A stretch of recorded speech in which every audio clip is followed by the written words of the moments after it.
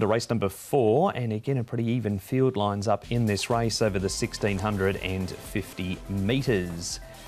Loyal Baby's placed his last four, carries 133 pounds again. Total power, cheek pieces off, the blinkers go back on. Mission Bravo wears a hood for the first time. We head down to number six, Fairy Floss, who wear a crossover noseband for the first time. His best form has been on the all-weather. Evie comes to Happy Valley for his first appearance. Run the table off the all-weather back onto the turf. His best form has been in Class 5 though. Manna from Heaven, crossover noseband off. The blinkers go on and Travel Glory. Tom, we saw him last Wednesday night, so he's on the quick turnaround. Yeah, and he found all sorts of trouble on the turn, didn't he? Travel Glory got uh, knocked over and squeezed up against uh, the rail, so he might go forward here, Paul, with uh, Sunny Delight, who I thought might have won one by now, but he's been a little bit, I guess, on the disappointing side. Yeah, we're coming to Happy Valley for the first time. He's been uh, placed a few times, so I mean, this might be his course. Uh, he, he's likely to go forward. Manna from Heaven's got blinkers on.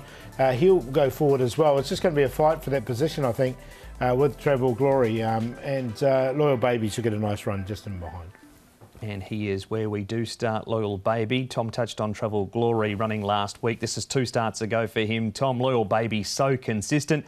Just can't find the winning post in front, though. Yeah, and he's got a Zac Purton going back on again. Zac's ridden him in the past, but not recently anyway. And uh, look, he's had every chance again. He's been consistent without winning. He was only headed over the last uh, 75 metres or so. Travel Glory didn't quite make it in, Paul. But amazing news here. Uh, he was back in the field, but he actually ran better last start. And I think he got a pretty good report card from Jenny in the paddock too. Yeah, he goes in amazing news. Loyal baby as well, but you wouldn't want to take a short price. He's a 13 start maiden. We'll see that run that Tom was talking about. Re amazing news in just a moment. Jolly Honour Paul and Total Power. He runs seventh this night, but he does have a good record in Class 4. Yeah, and the blinkers go back on him. He's won off a rating of 59 and 60, so rating 58 at the moment. So, look, he's well rated to win, uh, and he's got Joe Moreira aboard. Uh, look, the other one, uh, Jolly Honour, I thought he hit the line really nicely as well. So Jolly Honour goes in for me. Yeah, Total Power certainly carries some interest here, especially with the blinkers uh, going back on. I think he's uh, well rated to uh, run a bold race here. Of course, he has won with the blinkers in the past too.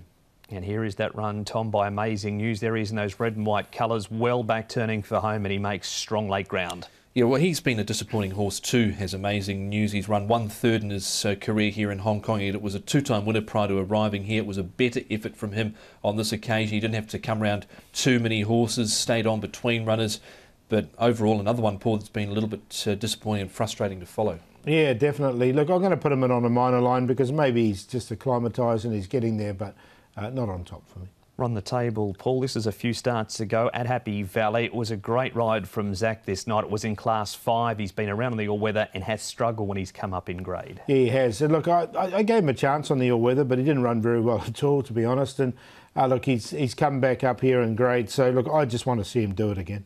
He was checked at the 250 here, but he was he was going backwards at that point. point, and uh, no wins, no seconds, no thirds, no fourths from 14 tells a story. All right, so I'll put the pen through, run the table of the others, Paul, the other 11, who goes in? I'm going to go with one. I'm going to make this my uh, each way play. He's come up at a really good price, I thought. Sunny Delight. He's coming to Happy Valley for the first time.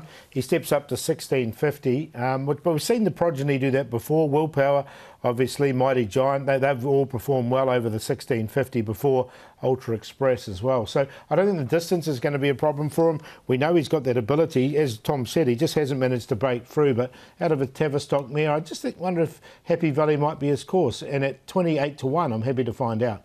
He's on top. Loyal Baby will come up short, the favourite. Amazing News has been very disappointing as well, but it was a better run last time. And Jolly Honour hit the line strongly. So 7, 1, 4 and 5 one, two, and four, and then going a little bit rogue with three, Mission Bravo. But Loyal Baby uh, gets the chance again with the Zac Purton. Joe Moreira rides uh, Total Power. Blinkers going back on, very close to uh, what he's won off in the past, uh, 59.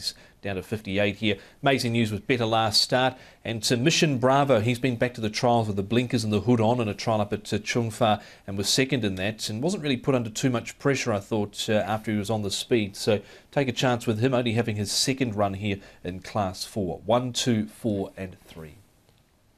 Race number four on Wednesday night is also the first leg of the six up.